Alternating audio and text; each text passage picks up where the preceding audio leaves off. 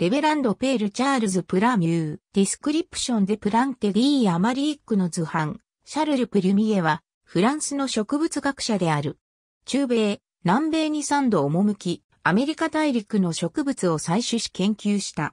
16歳でパウラナーの教会に入った。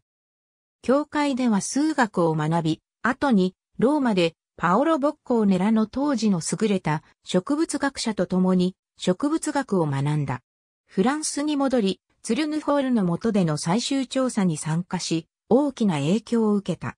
1689年に政府の命令により、ヨゼフ・ドナ・スリアンに率いられたフランス領アンティル諸島の調査旅行に画家及び博物学者として参加し、1年半滞在した。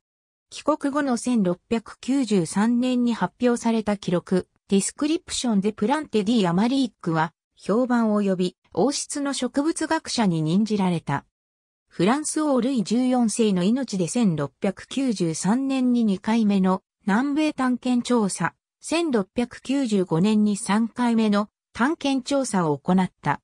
多くの新種の植物を発見し、著書フィリシートムアメリコナムヤノバプラントラム、アメリカネラムゲネラ、論文誌、ジャーナルでサバンツthe Mémoires de Trévoux に論文としてが発表された。1704年に、キナの木の原生地の探検のためのペルーへの遠征の途中で、カディス近くのプエルト・デ・サンタマリアで病死した。 Description des plantes de l'Amérique に記載されたアメリカ大陸原産106の種の219の図版の他に多くの種を記載し、多くの植物に有名な植物学者の名前を命名した。没した時、アメリカ大陸の動物、特に鳥類、魚類の図や4300の種の6000の図を残した。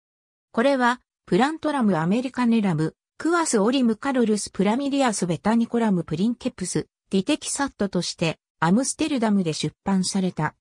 プラムは植物の学名で命名者を示す場合に、シャルル・プリュミエを示すのに使われる。